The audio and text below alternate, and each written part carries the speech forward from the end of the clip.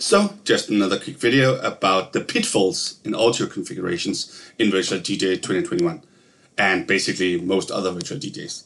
Um, I've already done this kind of video before where I go through all the options for configurations in different scenarios, but this is a, a bit flipped, so it's based on all the questions, all the problems people have with uh, with separate issues. Uh, so this is when you have an issue, not when you want to learn, basically. So of course, there are a lot of configuration options because there are a lot of configurations possible. So let's go through some of the most common problems that people bump into.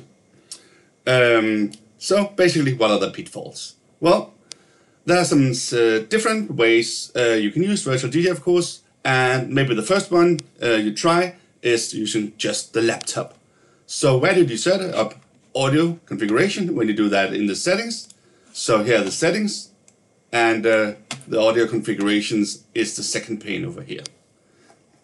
And right now it's set as computer audio.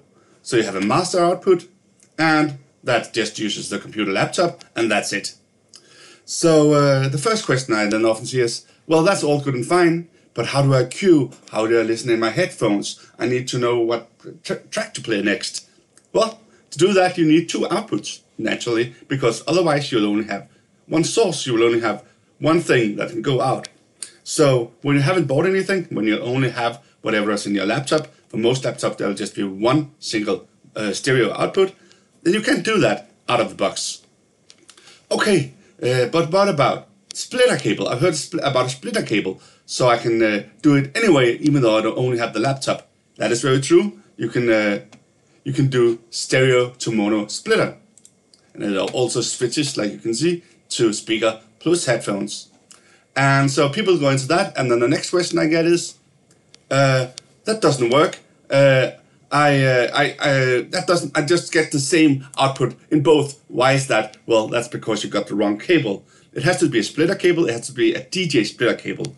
It has to separate it into two times mono. It, it's not just a replicator cable that plays everything out through both of the, the, the splits, if you will. So if, if you have an old cable from when you're young and you and your friend wanted to listen to the same to the same output from maybe a, an old uh, MP3 uh, player, uh, that won't work. You need a specific uh, DJ splitter cable, and I'll, I'll link to that in one of those in, in the description. So that's a very common issue I see that people are simply trying this but using the uh, the wrong cable. And also, of course, remember you only have two outputs, one stereo output with two outputs in it, so it will be mono.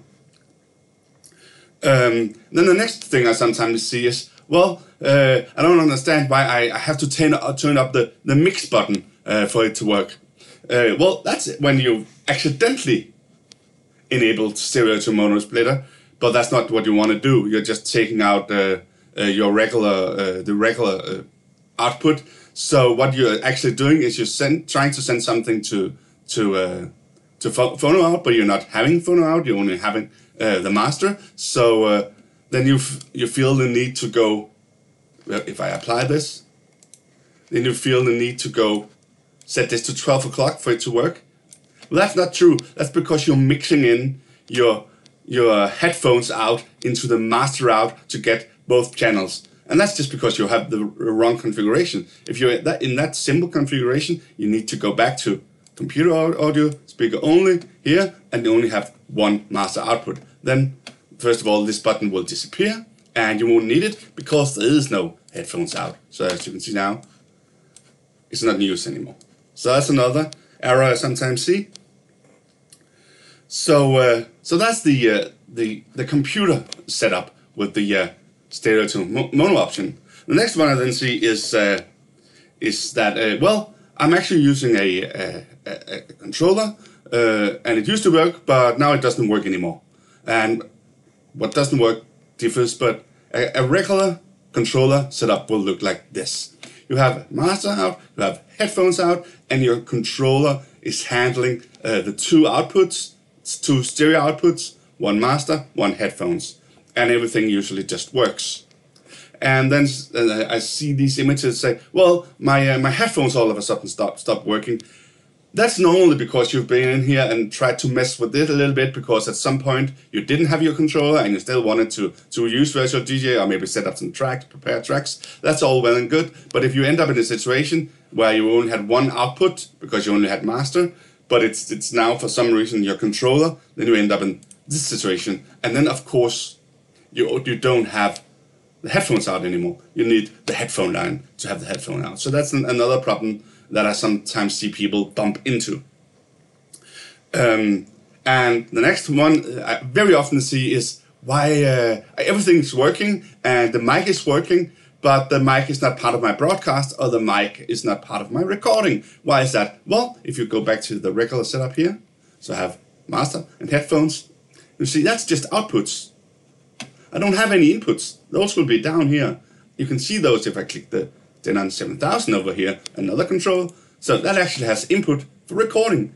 And that will include uh, the mic if you set it up correctly. But if you're in something like a DDJ SR, there's no input because it's sending the mic input directly to master out. So you can't record it. To record that, you need to set up something maybe in here and record maybe in another program where you uh, send everything back to the laptop somehow maybe using an input it has, it also has, maybe using a secondary, a secondary sound card. But out of the box, you can't record or broadcast a microphone, uh, your microphone input in, on a controller like the DDJ SR. So that's also a very common question I see.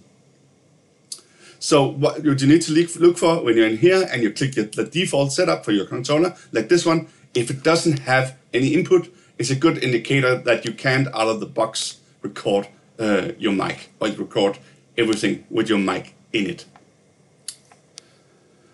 So the next thing maybe to discuss is uh, separate decks, just quickly because that's actually a more complicated thing, so I'll just go into it quickly. What is separate decks? Well, separate decks like this, you can do it for instance on this uh, on this Pioneer DDJ uh, SR. Uh, I could send four decks, or maybe more commonly on the on the 7000, I could go then go into separate decks, so it sends four decks out. So what is this? Well, that's for when you want to mix somewhere else. And for some of the more complicated um, controller, that's your only option. They're made to be mixed somewhere else, so they're hardware based. So somewhere else being inside the controller, but outside of virtual DJ. So it can either be inside the controller, but not in the software. So why would you want to do that? Well, if you have a, a, a complex setup where you also have CDJs and stuff like that, um, to, to come into it, you need uh, your, your, your mixing to be hardware based. You can't mix inside the software because it won't know about the CDJs or whatever else input you have. But that gets pretty complicated pretty quick because then uh, what happens about effects? I have software effects in here, I have hardware effects on my controller, or maybe in my DJ mixer. You could use this for for sending to a DJ mixer too. Uh, so how does that work? Well, it's a mix and match, so I need to figure that out. Um, also, what happens with uh, with my master stuff? Why doesn't my master work anymore? Why doesn't my master effect work anymore? What about my crossfader? Well, all of that is pretty much out the window. Why? Because you're not mixing inside Virtual DJ. So when you're on separate decks, especially if it's a an external mixer, like a regular DJ mixer, uh, you need to know what you're doing because stuff can happen happen in a lot of different places, and some some stuff won't happen at all. At all. Same about about, uh, about headphones. There's no headphones here. Why? Because the mixing is done uh, outside of Virtual DJ, so the, the, headphone cueing will also need to be done outside of Virtual DJ. And the one thing to remember, finally, is that uh, that it's not uncommon to have multiple of these setups. So I go between those all the time. For instance, if I uh, if I use my DG uh, here, I also maybe use my Focusrite because then I can add a microphone because it's a regular sound card. So I can combine those two. If I'm then just using my laptop, then I switch it back to uh, disable this one and switch it back to uh, to the laptop one. And I might go into to uh, this one, the SR if I'm using that, or the 7000. And I might add, uh, disable this and I might change bits and pieces, but you can always store whatever uh, changes you make. And these are natural. You need to change this stuff uh, every time you use a new uh, new controller or new hardware with the program because, well, they're different. But luckily you can save all these. and then you can just recall them when needed. So for instance, this will be the 7000, I already selected that one, and this will maybe be a, a DJSP, uh, which is currently not connected, so I'll get an arrow if I try to apply it. But you get the picture. You can store these by using the save button, so you can quickly recall them, Scarlett 1.4, uh, so, so you can quickly record them when you change your setup. And that's completely normal. Yeah, you need to go in here and, uh, and change things when you change your hardware. So that was just a bit about uh, the common pitfalls when working with with the with, with the audio config configuration uh, in primarily uh, when using controllers or just your laptop.